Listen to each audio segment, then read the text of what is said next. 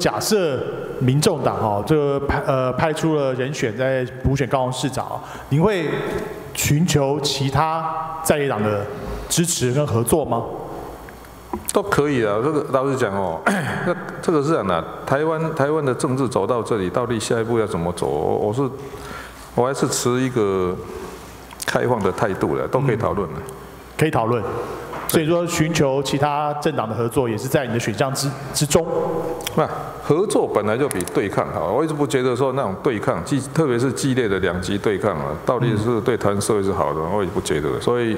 我我从来都没有去去去说一啊一定不要跟谁合作或怎样，我都是都比较开放、多元开放，一向是我们的政治价值的。哦，好，那现在看起来，这民进党在台湾的政治可能会呈现有一段时间的一党独大，啊，不管在立法院、行政权或者其他的这些媒体，甚至网络声量里面，都会呈现一种声音独大的现象。那您作为一个重要的在党领袖哦。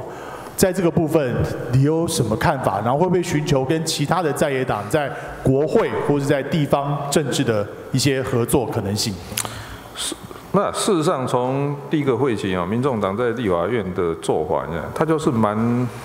就是都是针对每一个议题有不同的态度嘛，所以都通常是议题，他也没有说一定要哦，这个我一定要跟谁合作，说一定不跟谁合作，所以他也都是议题导向。那我也觉得这是一个我们。至少在可见的未来，这是一种政治态度，就是说，哦，这是议题导向，而不是说把用人来做决定。议题导向，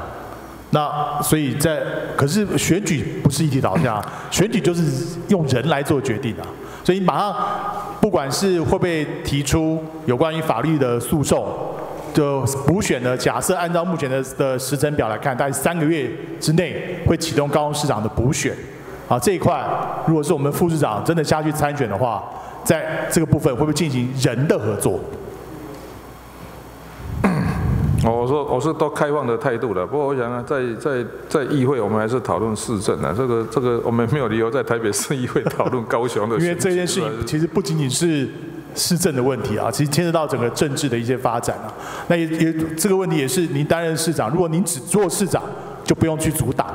显然你对这个台湾的政治是有自己的关心跟自己的抱负嘛，所以我觉得在这边讨论这个政治相关的问题啊，我觉得以你的身份来说，我觉得很适当，我觉得是恰当的，所以我倒觉得你这在这个部分可以做一些深刻的思考，